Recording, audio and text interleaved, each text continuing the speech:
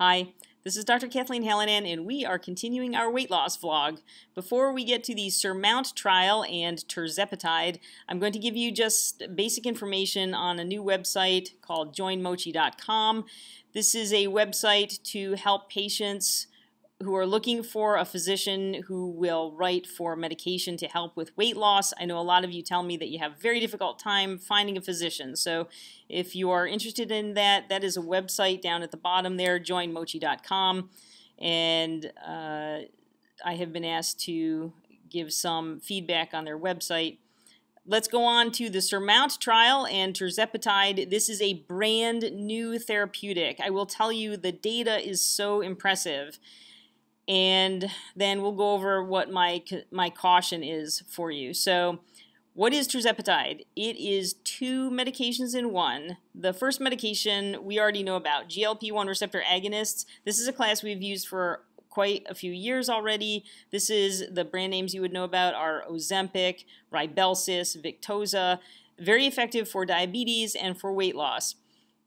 The second therapeutic is really interesting. It is it acts at the GIP receptor.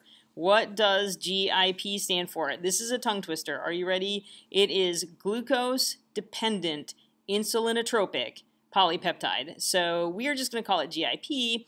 And the receptor for this molecule is found in several places in the body. It's found in your brain, it's found in your pancreas, and it is found in fatty tissue. And the mechanics of this receptor are very interesting and very complex. So for, for right now, our understanding is that the molecule that is this component of tirzepatide is an agonist, or it activates it.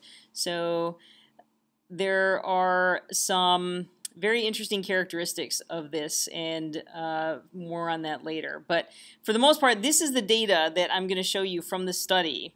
This was over only 72 weeks. These people lost a lot of weight. It approximates the amount of weight loss that we see from surgery. Now, important to know, exclusion criteria for this trial were you couldn't have diabetes and you couldn't have had gastric bypass surgery. So these people overall had an average BMI of about 38, so very close to severe severe obesity.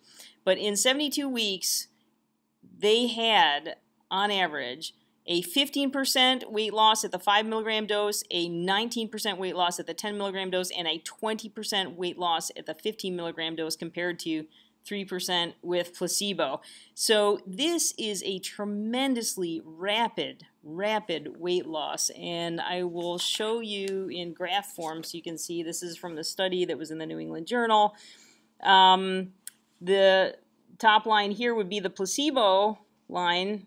And then you see how com comparatively what a dramatic amount of weight loss these people had, percent of total body weight at the 5 milligram 10 milligram and 15 milligram dose, the 10 milligram and 15 milligram really are so close together that you might as well just stick with the 10 milligram dose.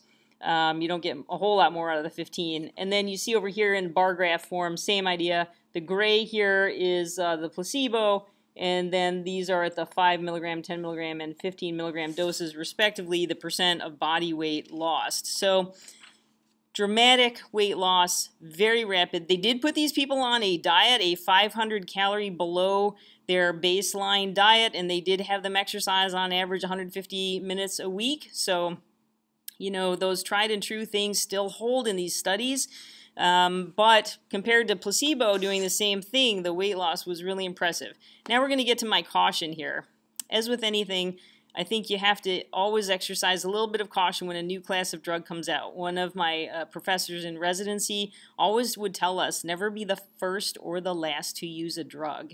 And I think there's a lot of wisdom in that. I like to wait about six months after a therapeutic has been out to see what what happens post marketing and what the experience is.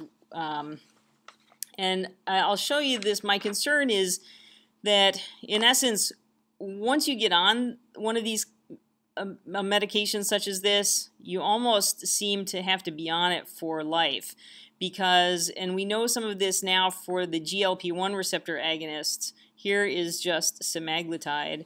You see that, you know, the weight loss is dramatic, right? But as soon as the medication is stopped, up goes the weight again. It does plateau out here, you know, so, and you're still, um, still have net weight loss, but I, I'm concerned because the speed at which this therapeutic shows, uh, causes people to lose weight, uh, there certainly may be an equally severe rebound effect. And I think there should be a little bit of caution before we jump right in. So, uh, as with everything, you still have to really focus on, again, uh, keeping a healthy diet, lean proteins, vegetables, a calorie count of 500 calories, roughly less than what you would need to stay on, you uh, maintain your weight.